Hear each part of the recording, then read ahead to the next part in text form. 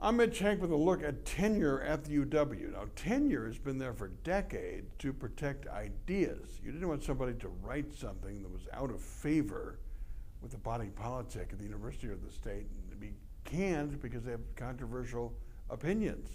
After all, it's what the framers of the Constitution gave us the First Amendment to protect unpopular opinion, not popular opinion. You don't want our professors, people in the arena of ideas, just kissing butt all the time then you have to ask yourself how they get tenure in the first place. Chances are they're pretty orthodox. But still, you can fire somebody now on tenure, but you have to have a paper trail, uh, has to be malfeasance, or maybe a financial emergency, and even then there's a review board to process hearings and reviews.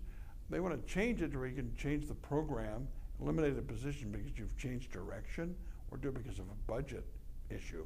Well, Rebecca Blank, the uh, the chancellor is overwhelmingly opposed, along with the faculty senate. They want the legislature to change that in the budget.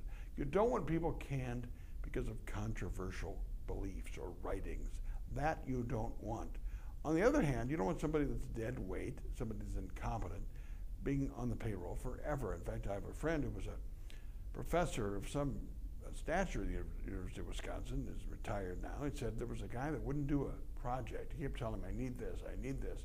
He never had it done. So finally, after the fourth time, he said at a meeting, You're fired. He said, Well, you can't fire me.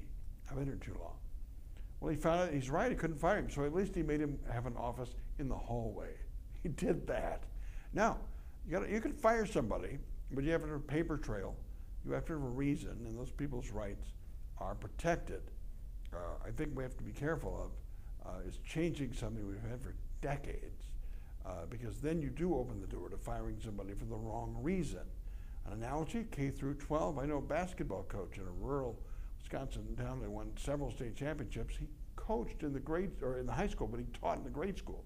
Every time there'd be an opening in the high school to teach there, he'd apply, he'd be rejected. The school board would vote no because a grandson or a son didn't get enough playing time. No, you don't want that at University of Wisconsin. My two cents. My two minutes are brought to you by Edge Construction and Capitol Consultants, Bill McCoshen, a lobbyist who gets things done downtown. Go Capitol Consultants. And I'll see you next time on 92.1 FM tomorrow morning at 8 o'clock.